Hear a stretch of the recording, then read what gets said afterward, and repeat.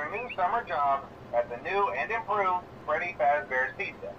Uh, I'm here to talk you through some of the things you can expect to see during your first week here and to help you get started down this new and exciting career path. Uh, I want you to forget anything you may have heard about the old location.